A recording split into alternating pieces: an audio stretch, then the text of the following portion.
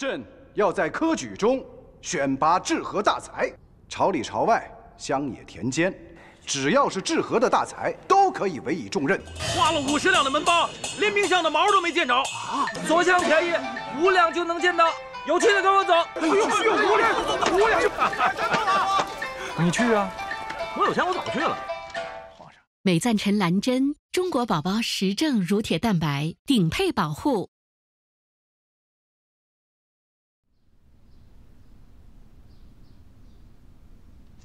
老爷，啊，老爷，这是新收的礼单，光门包就一万多两啊！你呀，眼窝子太浅了。哎，听说老琉璃蛋当清官了？据说呀，名相见都不见，举子们把他恨透了。他呀，是在看风色。进府的事，皇上给他碰了个钉子，心里头害怕。他那个贪劲儿，我还不知道。哼，哎，这个不要，不要，这个也不要。嗯，新科进士徐乾学，孝敬江南水田一万亩。这还没考呢，就新科进士啊？八成失心疯了吧？哎，这个聪明。要是考上了，这一万亩水田就划进来了；要是考不上，这就是一张白纸啊！哪有这么个新科进士徐乾学呀？啊？哎，哎这个有点意思。嗯，哎，新晋南书房大臣、保和殿大学士高士奇，敬赠文银一万两，这像话吗？这个呀，啊？还新进南书房大臣，这混一辈子也混不上的差事，他个小小的举子竟敢口出狂言，这这这这这，哎，老爷，这个姓姓高的举子确实狂得很，嗯，大概真有些本事吧？嗯，有能耐也不行，要求功名得先敛性子。哦，跑到官场这儿来放狂言。他是不是觉得自己死得慢呢？啊？哼，那这个不要。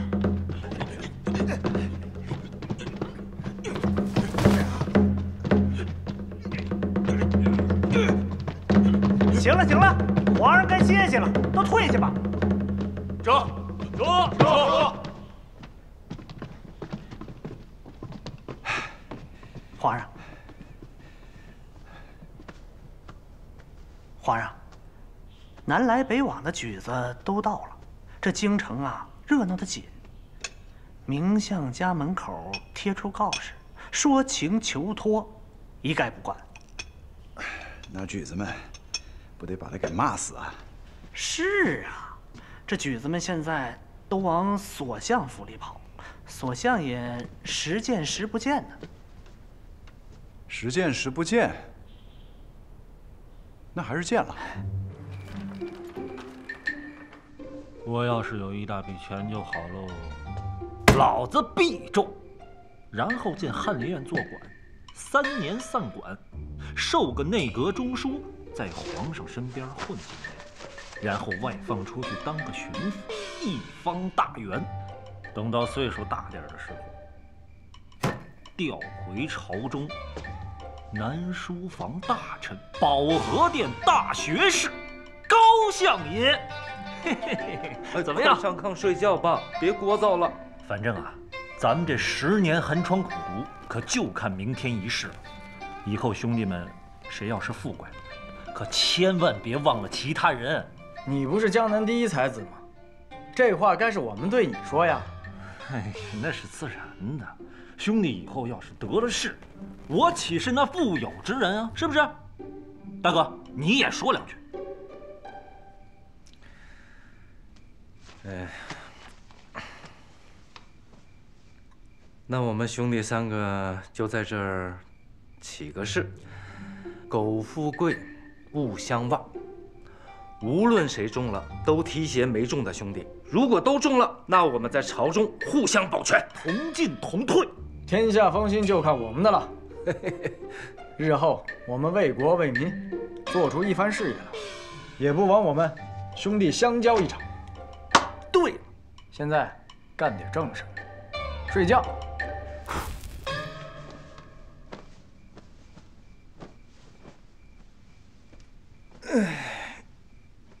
哎，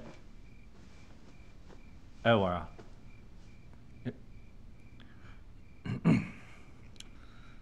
给给个量呗，下不去。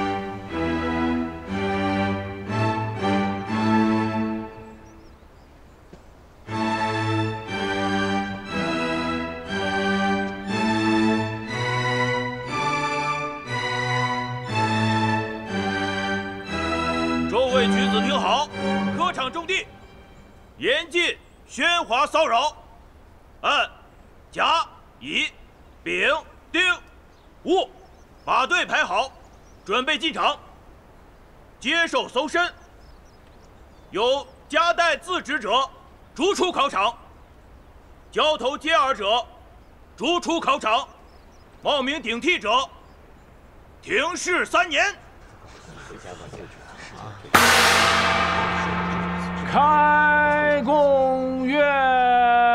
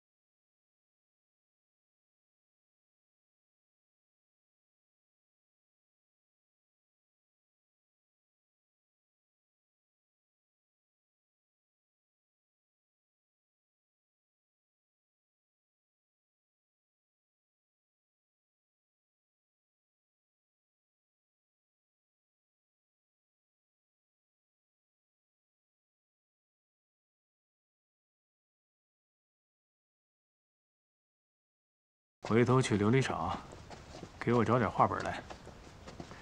要那样的啊，呃，哪样的？哦，带插图那种的。哎，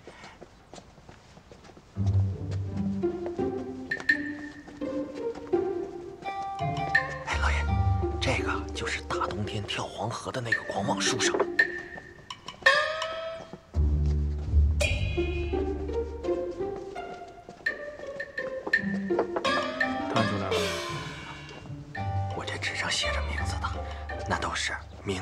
着给锁相送过礼的，还有些个没查出来。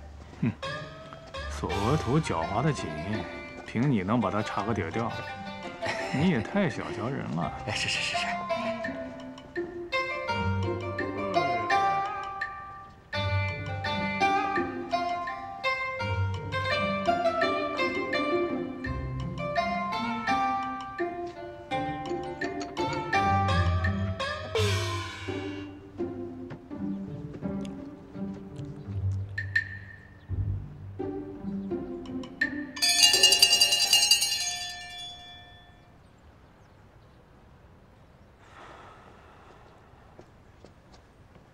怎么了？啊，大人，交卷。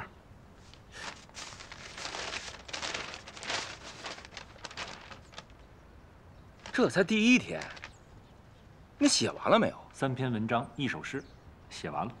还有两天呢，三年才考一回，你不认真点儿？哎，这种抬不开头、伸不开腿的地方，我多待一天都难受。不瞒您说，我连晚饭都没带。您看，喊什么喊？大人，疯了吗？大人，有个考生要交卷儿。抽风了吧？是不是睡癔症了？这才一天。他说他连晚饭都没带。嗯，有点意思啊。让他交吧。哎，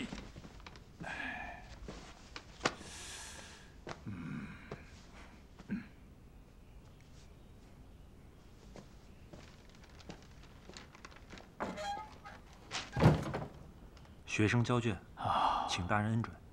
交的够快的，哎呀，好字啊，真是杰才呀！大人夸奖。来自于哪里？叫个什么？学生高士奇，来自浙江钱塘。哦，好，好，好。他日高中，就当我是提前道喜了。多谢大人。嗯，嗯，把我带的吃食儿给他送过去。啊，这，这可使不得。哎，不客气。啊啊！我带的不多，送你一些便是。我当年也是寒门举子考上来的，让你吃这些东西，总不至于辱没了你。哎呦，这可亏了，亏了。这个进龙门的规矩就这样，不到三天，连只鸟都不让飞出去。上一届有个考生，心绞痛死了，只得拿席子裹起来，立在墙边。想起这事儿，我这心里边就……哎呀，要不然，你再忍忍。大人说的是。来，拿着。哎呦，这，哎呦，多谢大人。哎，多谢大人，多谢，多谢大人。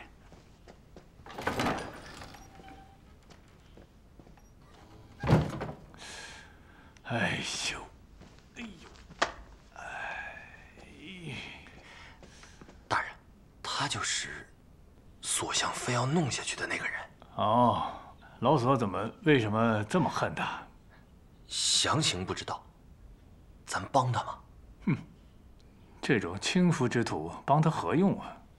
他又不是不知道规矩，耍聪明到我这混饭吃来了。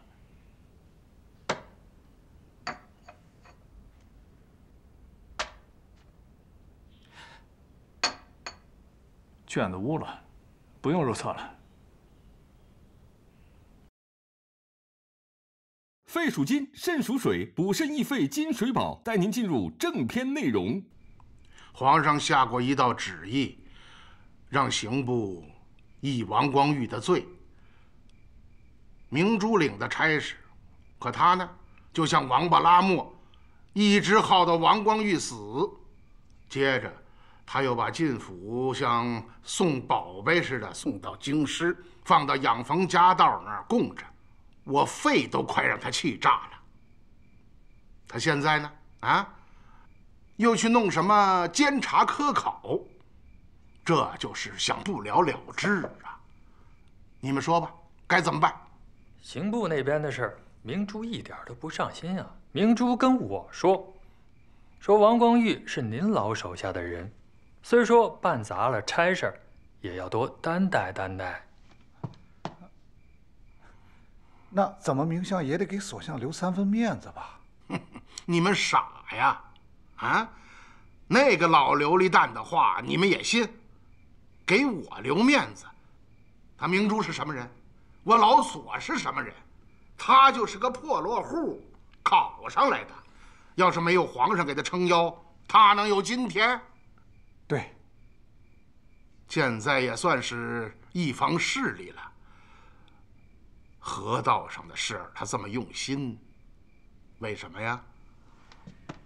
这河道上一年几百万两银子，每次户部奏销的时候，就拿一个物料单来，想查？哼，到河底看去吧。户部也拿他没法子。这种天大的好处，他当然要来插一腿呀。是。你们呐，是只看到其一，没看到其二。黄淮运三河，那是江北的命脉。什么是命脉啊？黄河一决口，南粮不能北运，北方的兵是寸步难行。黄河决口十日，朝廷危亡立现。前些日子黄河决口了，朝廷不就已经商议着要迁都回关外了吗？知道厉害了吧？皇上啊，是把那河当成心尖子。王光裕救不了，下一任的河道总督是谁，得在我们手里。我们得把这河管住了，懂了吗？还是所相您看得深啊？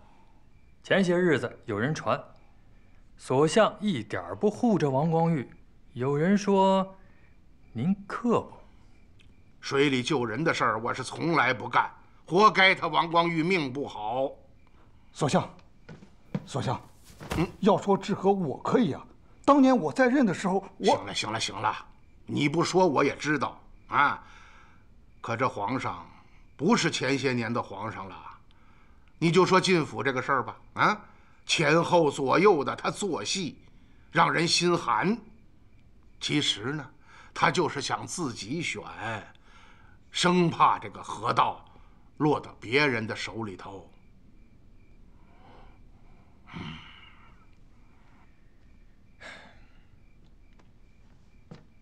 所相，您说吧，咱们该怎么办？所相，咱们可以到御史言官那儿参他。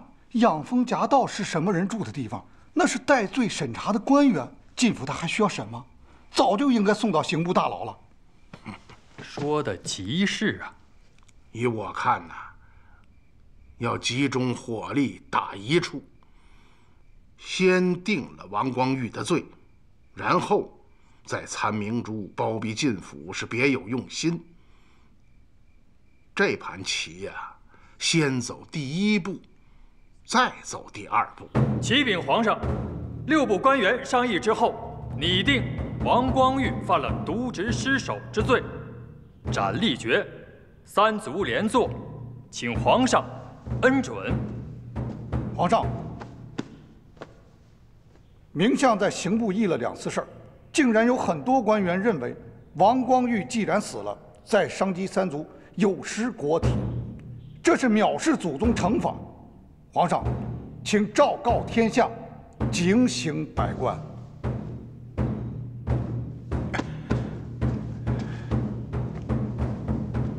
启禀皇上，王光裕是奴才荐出去的，没想到他竟如此的有负盛望。这件事，奴才有罪，六部会议奴才理应回避，还望皇上圣裁。既然你们都这么说，那就照你们说的办。王光裕罪在不赦，朕对他的家人不加恩宽免。南丁发往宁古塔为披甲者奴。女眷由当地官府发卖，觉得朕寡恩了？不加恩不是为了黄河决口，是为了他自杀。他把朕置于何地啊？他把朕对他的信任都丢到哪里去了？以为轻轻一死就可以把罪责和这个烂摊子都丢给朕？皇上圣明。此次水灾弥害地方，险些将我大清推入绝境。皇上如此处置，已经是加恩了。归安吧，明天这个时候再来伺候。走。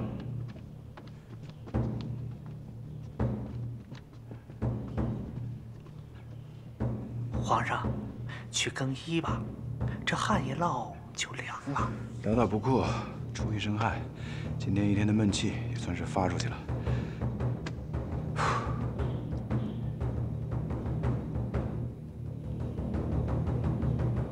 这么多，都是今天送来，参送明相包庇进府的。第二步棋。还是走了。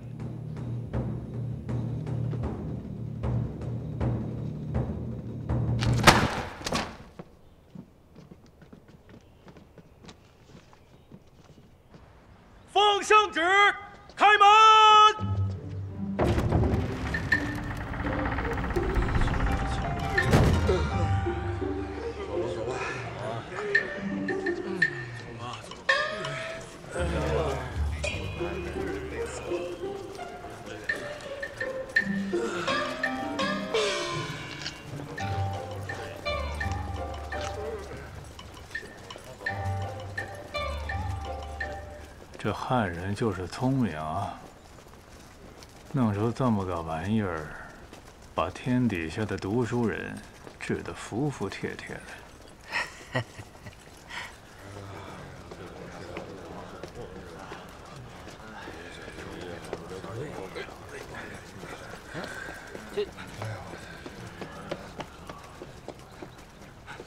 老爷，可出大事了！老爷，您在科场这几天，朝里参您的奏报像雪片一样多呀。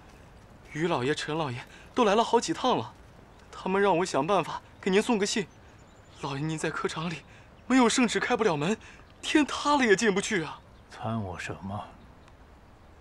他们参您乱政。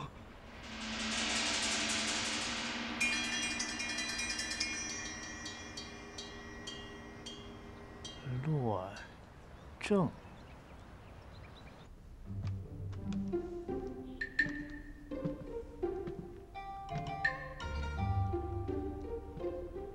奴才明珠叩见皇上，吾皇万岁万岁万万岁！起来吧。谢皇上。回来交旨了，可生受你了啊！奴才不敢说累。奴才这两天科场平静无事，奴才是亲眼看着把卷子封明，这才来交报的。无事就好。皇上，奴才还有一事。讲。奴才要告老还乡了。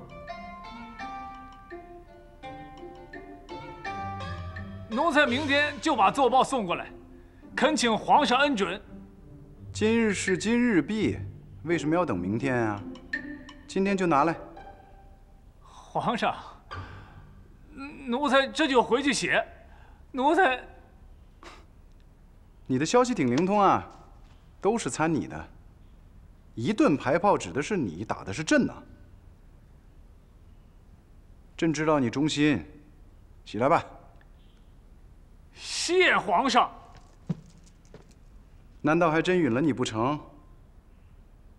你呢，回去写你的奏报，朕下旨挽留就是了。皇上对奴才恩比天高啊，没得说呀。不知道参奴才乱政，到底哪件事儿啊？哪件事儿？你有多少件事啊？奴才只知道对皇上忠心。哼，不用紧张，还不是进府。他们递奏报，先定王光玉的罪，要把他的三族充军女眷发卖，然后再顺势斩进府。正好，合力把你攻倒。皇上，这不是造反吗？皇上想杀谁用谁，自有道理。这里没有祖宗惩罚的事，不是那么简单就能破的。这些也都无妨，但是朕有一件事情很奇怪：进府是巡抚，到河道上忠勇可嘉，难道要冒着生命危险，非要去贪污那点儿河工的安家银子吗？御史们不会不知道这一点，可是为什么还要大动干戈，不惜得罪南书房大臣，也要杀之而后快？恐怕这里面没那么简单。奴才也是参不透啊。他们还指望朕给王光玉加恩，免了他家人的罪名。朕要是中了他们的意，朕岂不是成了让人玩弄于股掌之间的笨蛋了吗？皇上圣明。王光玉罪不可赦，皇上已经定了他的罪名。奴才建议，安徽巡抚进府更是应该加以惩戒。按大清律，何妨失守等同于阵前溃败，是斩立决。臣封文南书房大臣明珠，将靳辅押解到京后，一不送刑部，二不交六部议罪，把他放在养蜂家道。当成大老爷供起来了，这包庇之罪，狼子野心，皇上不可不查。臣以为靳府应该由刑部议罪，在菜市口公开处决，警示天下，也替李夏和七州县的几十万灾民出口恶气。皇上，奴才封文，靳府水灾未死，被南书房大臣明珠派家人接回京师，养之在养蜂家道，未交刑部，这是公开蔑视祖宗惩罚。明珠想干什么？他还把皇上放在眼里吗？他这么做，皇上要是同意，那要刑部还有什么用？明珠，你有何辩解？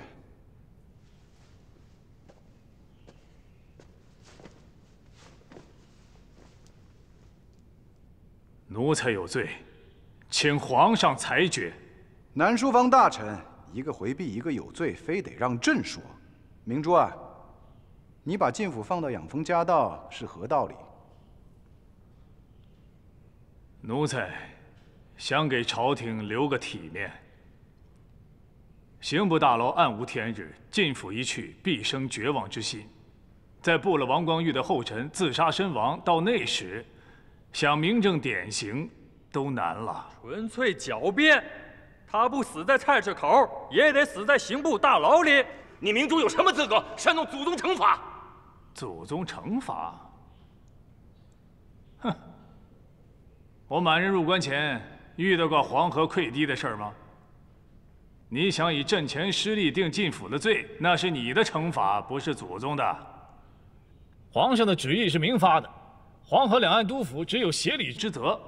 照你的意思讲，李夏和七州县所有的官全杀一遍。那明相祖宗惩罚是什么？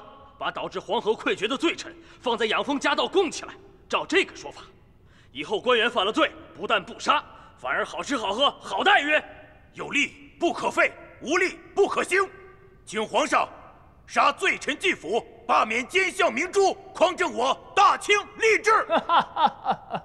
杀一个进府，罢了我明珠，就能澄清吏治啊？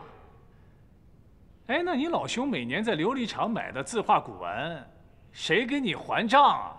你，好你个明珠，到你府上。进门包要五十两，你还有脸说我呢？好了，你们都退下。皇上听政，乃是朝廷大典，你们怎么能像泼妇一样在这吵闹？杀进府还是罢免明珠？国有国法，皇上不比你们明白。用你们在这啰嗦，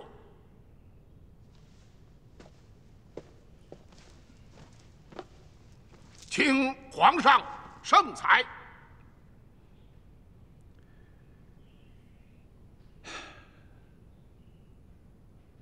把晋府放到养蜂家道是朕的旨意。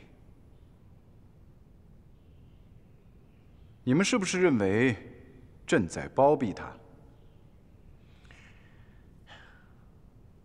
请皇上遵守祖宗惩罚，此封不可开。杀人容易，朱笔一勾就行了。但朕不愿在京师杀他。等到科考一完。把靳府押到黄河边，六部官员随朕前去，一起查清楚黄河决口的原因，让他死得心服口服。皇上圣令，不必在意。说呢，那天我去啊，是要给所相负荆请罪的，结果我去一看，哎，对呀，所相正跟太子爷天伦之乐呢，那我打扰合适吗？我不能不懂事儿啊！哎，我可告诉你，太子爷，嗯，可真是不得了啊，天纵奇才呀！我敢说，聪明成这样的孩子，大清立国以来独一份。哎，那皇上呢？哎，皇皇上，十六岁力擒敖少保。哎，你想想，在这样的人面前耍点小聪明，能有什么下场啊？啊，哎，那倒是，我们圣朝的第一骑士啊！哎哎，想当初啊，老夫在皇上跟前，那就是一个带刀的二等侠。嗯，亲历此役啊！哎呦，敖少保，那可不是一般的凡人呐！敖少保在战场上不用兵刃，骑在马上，凭着双膀的力气抓着人呢，那就呼一下就扔扔扔扔到外边去了。哎，你看他厉害不厉害？哎，哎，对了，那时候你还胡风筝的吧？给人家。啊，对对对，哎，业补家用嘛。哎，对，知道你手巧。嗯，哎，我后来听说，当年擒敖少保的时候，索相抄了假山，对着敖少保的后脑偷袭，啪就把他打倒在地，立了头功啊！胡说，你谁说的？茶馆里说书的。哎，这个黄河可是风大，别贪凉。扇了舌头什么的，哎，家里头有夹袄吗？没有，我让家人给你送一个去。哎呦，不敢。哎，好歹对付一下。那就好。慢走啊！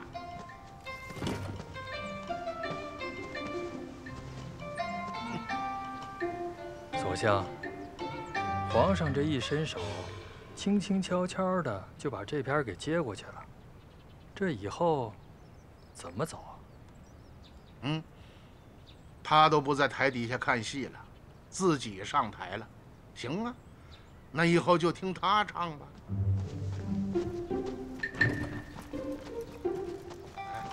老爷慢走，咱俩一边走一边说啊。到时候你拿点东西，拿点东西呢。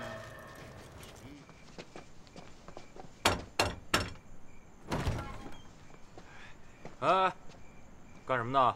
我找人。你找哪位？啊。我是晋府晋大人的好友，听说他关在这里，想给他送点饭吃。这个怕不成吧？啊，大人，帮帮忙，这是吏部的官员审查之处，又不是刑部大牢，我们瞒上不瞒下，见见你就走。啊，我谢谢您了，您可别送了我的前程。您要是找别人，没二话，独独这个晋府，明相说死了，谁要是放人进去，就杀谁。听说晋大人犯了死罪呀。皇上要把他带到黄河边去砍头，我们老哥俩几十年的交情，一面都见不上。您发发慈悲吧。他死不死我不知道，我放你进去，我死定了，去别处哭去吧。哎，大人，出去。大人，大人，您受累，把这食盒给他捎过去吧。这就更不成了，这位靳大人可是宝贝，他喝的吃的。一个小米粒都是从相府送过来的，我可做不了主。哎，那你就让我远远的看他一眼行吧？你怎么没完没了了？明相他的家人十二个时辰在这里守着，我都进不去，带你过去看看，赶紧走吧。我，所向家里的兄弟，你那个不明白吗？明相家里人说了。他在这儿，就是防火、防贼、防锁相。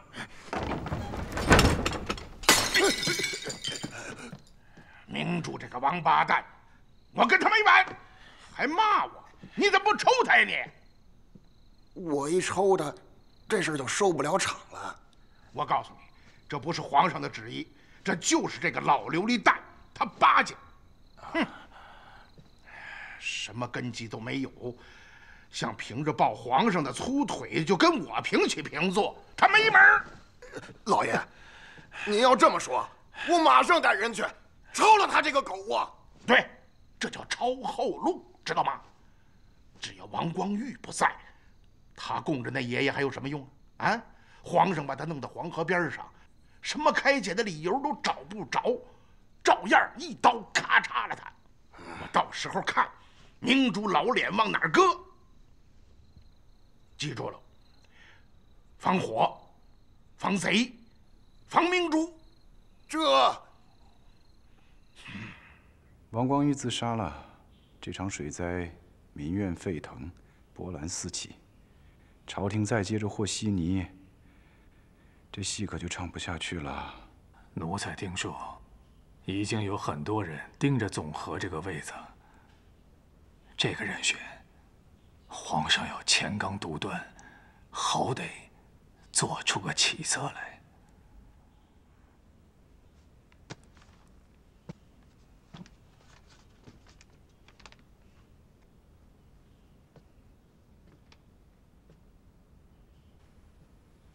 皇上是不是想去养蜂家道一趟？那些御史官员又要说闲话了。奴才有个办法，不知可行不可行。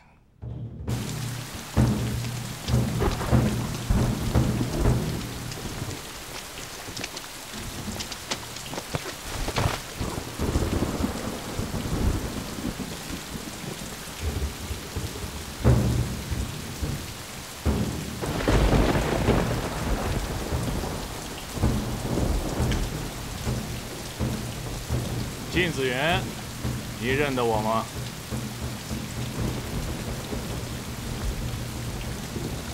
明相，大驾光临呐！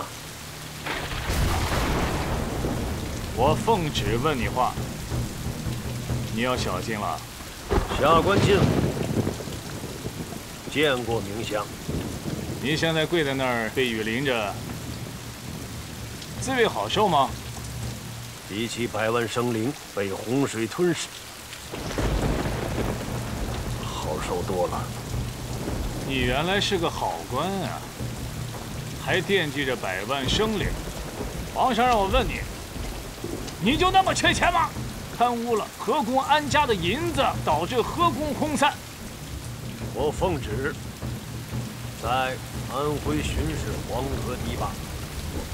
黄河大堤的河务官员临阵脱逃，当时是危在。我在大堤上指挥了十七天，堤上伤亡很大，河工们都在闹饷。王光玉有一年多没发饷，河工的妻儿老小连安置的费用都没有，军心不稳。王光玉带着车。说是发饷安抚民心，可是车是空的。他拿着亡命棋牌，想取下官的脑袋顶罪。事实如此。你炸毁河堤，桃园三股两县已成汪洋，你守的什么土？你给龙王守的土吗？两县的百姓早就迁走了，炸堤泄洪本当如此。我自赴任安徽以来，留心何物？自命不算是外行。若不当机立断做此决定，恐怕大堤崩得更快。现在谁能给你作证？那些河工呢？人在哪儿？他们。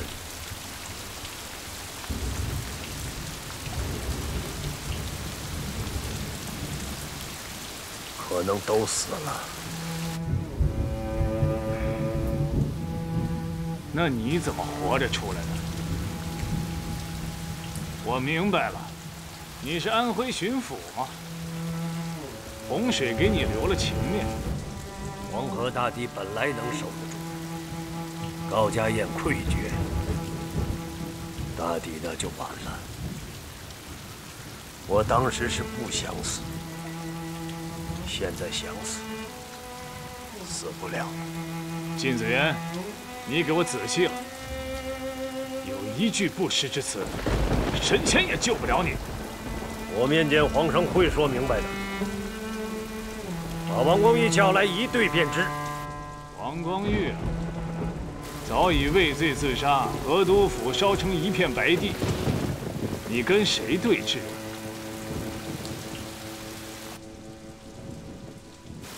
他们要是清官，那把我杀了就是。继父，要杀早就把你杀了。洪灾让你侥幸不死，老天爷留下你是有道理的。皇上现在让我问你，你还给我狡辩，你自己想找死吗？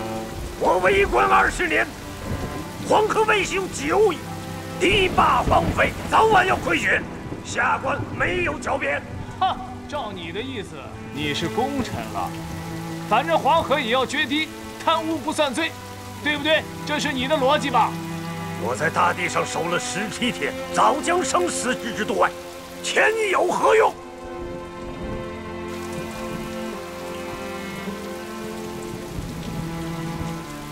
你不懂得何物，不知道这里的艰险，我懒得跟你争辩。哎呀，你这脾气还真大啊！我就问了这么几句啊，你就撂挑子了。靳府，皇上让我把你带到黄河边上，在大堤上斩首示众。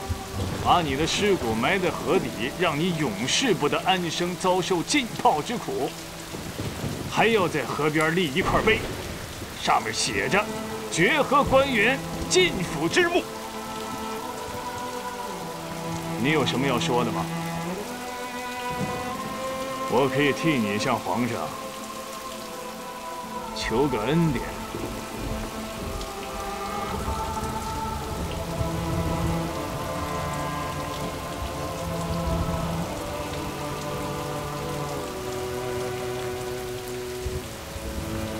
感谢明相一路照顾有加，不必替我求得恩典。